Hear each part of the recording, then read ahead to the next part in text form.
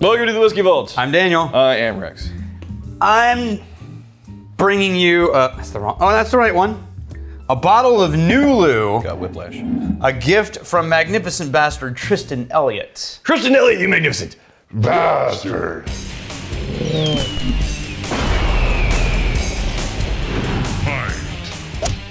Okay, Nulu. I've never heard of Nulu.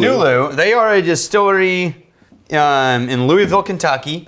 They were pretty famous for like tracking down barrels for people and then bottling them, like cool. private barrel picks. Yeah, yeah. That they didn't make, but they they sourced really well. Oh, and they're yeah. transparent about it. Yeah, yeah, yeah. Like, oh, you want something interesting? We'll find it for you, bring it, and then we'll bottle it for you. This is one uh, five year old, Yeah. one barrel, barrel 65. Yes. The Golden Grills barrel.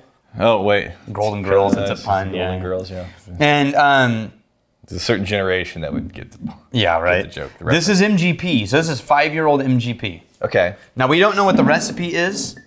I can tell you that we're about to get two barrels of five year old MGP at our barrel house. I I enjoy watching you struggle with the wax. Well, I just needed to get past that one Oh. little. Oh wait, did you did you Yeah. do it in record time? Yeah. Didn't even have to pull out the knife. No, I knew it was going to be okay because I just needed to get past that one little Well, you're still not. You're still not across the finish line yet. Yeah, I am. I haven't opened the cork yet. I'm saying but, though. I'm saying. but the sealant is this off. this is uh, this is okay. You got it.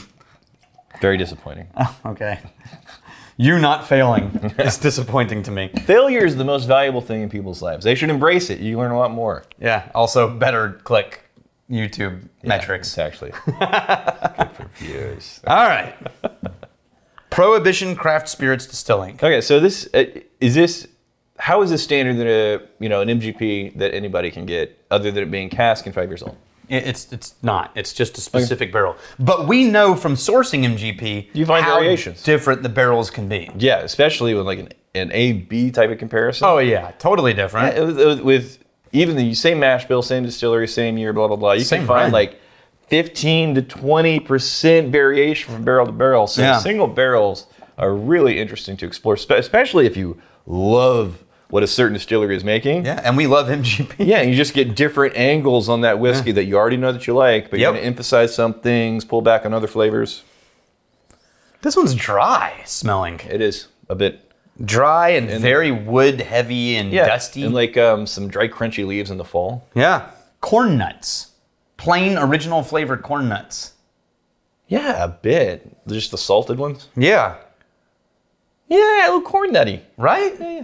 That was a way to make enemies in a, on a road trip. Open a bag of corn nuts in the car.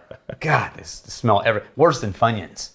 I don't think I've done more than like one or two road trips. Oh, okay. Yeah, was, and I was talking about the road trip I had yesterday. Like the in college, it was me and my girlfriend. and Oh, then- oh, you were talking about it. Yeah, yeah. Okay, I was talking about somebody yesterday.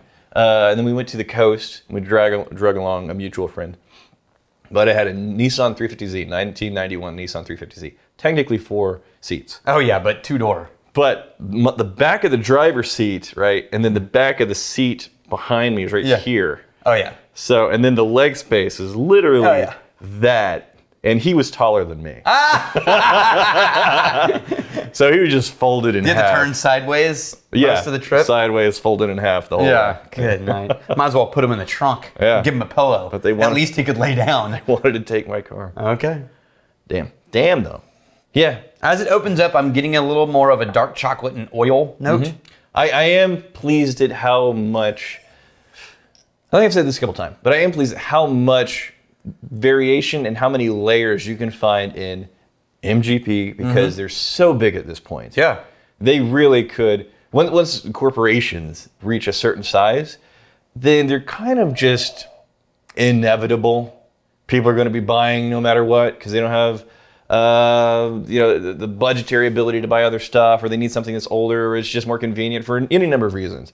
They could let quality slip, and they would still be fine. But to date, I don't ever see an MGP that's like, wow, this one's way off. This Yeah. is- The uh, worst I could say is they proofed it down too much. And that's the only thing I've ever well, encountered. and that's the distillery that's releasing it. yeah. that's not. And that's on an MGP. MGP thing. Yeah, Oh, whoa. Whoa, did that get bitey? It's definitely peppery. Ah, a lot of pepper. Like stuck in the back of my throat. Pepper and oak. You can definitely tell this is a cask. Mm-hmm. And it's not sweet. It's really not. This is I one mean, of the least sweet MGPs. at the very end, it gets honey, yeah. uh, like honey to a black tea. Mm-hmm. But that's at the very end. I get heat. Mm-hmm. Its texture is hot, and then a little bit of grassiness, and there was just a little flash of brown sugar. Mm-hmm. But mostly, it's the, the dry flavors. Wood oil, corn Yeah. dust. The wood, the Salt oak, almost. a little bit of grassiness, dried leaves. Yeah. Yeah, nice. yeah. I actually, Way to am, go, I'm actually more interested in this Nulu deal Yeah. where they hunt down single barrels. That's yeah, it's cool. No, we're we're, we're, No, no, we're we- doing that we're- already. we're- This is like a nonprofit. We put the spotlight on other people. That's true. They're doing a good job. Other people, other people. The craft way. Yeah, yeah, yeah. We have the the printer's failing here, so hold on. Uh, it's my printer. I'm sorry. Ruchisms. Rugi, Ruch- Sure. Hey, all MBs. Not long ago, stumbled upon an article about roasted malts they Mm-hmm. use for craft beer. Notice that some distilleries have been experimenting with it too. Does anyone know of any fairly accessible and reasonably priced whiskey that uses roasted malt? Thanks in advance. Is Andalusia doing roasted Yeah, malt? but they're not widely available. Westland is doing roasted malts. Oh, so the try roasted. try Westland. As a matter of fact, every time you love get that Westland. note that you love, It's a roasted malt. It's almost always a roasted malt. hey, let's roast some malt. Yeah, we yeah. can. Yeah, yeah, yeah. Yeah, or we can just buy roasted malt. Okay, but is it going to be? Well, roasting malt is, is a, like a real process. It's you got to sort of know what you're doing I have some. Uh, and have the right equipment. I know some coffee people over at the Summer Moon. I don't know if with the big dis- there I- might not be a big difference. Here's the thing: S- they they do fire roasted coffee, Right. Right, and then um, somebody that knows somebody said, "Hey, we can get you access to do fire roasting your grains." Yeah. I don't know enough about roasted malts to know what the process is or how it would differ. If it delivers that nutty note that finishes with the coffee note, we need to know everything about the Mm-hmm. Yeah. roasted malts. I love that note. We have uh, again the printer Apollo Tenjin. Brianna's rising power has got Rex sweating over potential coup. He is found fretting. Uh huh. yes. This is they. Uh, whoever this is has been putting poems at the bottom of every video, and I love them. Yeah. Wait, wait, wait. love there- them. Did this cut off again? Oh wait, it's your frequency. With salt on the wound, Daniel causes hurt by naming Rex as the doofus in a shirt. That was in an episode in May. In a shirt. Yeah, It's like look at that guy Yeah. wearing a shirt in a shirt, like a doofus. like a doofus. you know where I stole that from? I think. Huh. Like I thought it was original, Yeah. but then uh, not long ago, after I read this, it occurred to me where I had heard that phrase. doofus in a shirt. No, no, no. I stole it from you. I'm just some dude in pants. Oh, in jeans. jeans, remember? Like some dude In jeans. in jeans. yeah, yeah, yeah. That's I think where it like percolated from. All right. Yeah.